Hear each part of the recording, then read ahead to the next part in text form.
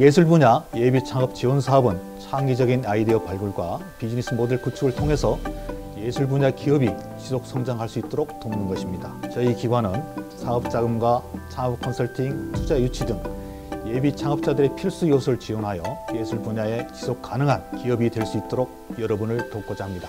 예술 분야 예비 창업자 여러분을 응원합니다. 올해 주요 성과라고 한다면 크게 두 가지인 것 같습니다. 첫 번째는 좋은 예비 창업팀 10팀과 함께 했다는 것이고요. 수많은 과정 속에서 성실하고 또 열정적으로 임해주셔서 저희 10팀 중에 9팀이 벌써 사업자 등록을 한 상태입니다. 그래서 내년부터는 예비 창업뿐만 아니고 예술 분야의 창업 지원 사업들을 확대하여 진행할 예정이니까요. 올해 예비 창업팀 분들도 관심 많이 가져주시고 또 참여해 주시면 감사하겠습니다. 2020 예술 분야 예비 창업 지원 사업에 협력사로서 비브릭이 참여하고 있고요. 저는 거기서 PM과 멘토 역할을 맡고 있습니다. 비브릭은 예술 분야 예비 창업 지원 사업의 협력사로서 창업자들에게 공유 오피스를 지원하고 비브릭이 갖고 있는 내외부 전문가를 활용하여 어, 원활하게 어, 창업 계획을 세우고 그거에 대한 어, 실행을 하는데 도움을 주고 있습니다.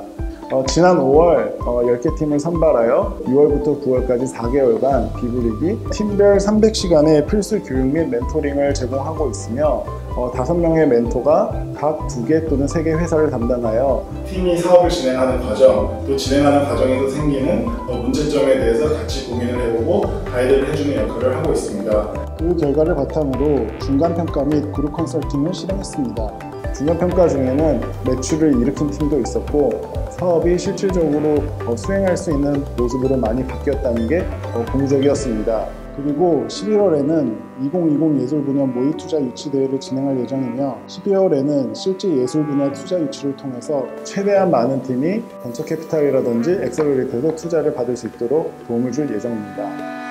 어, 예술 경영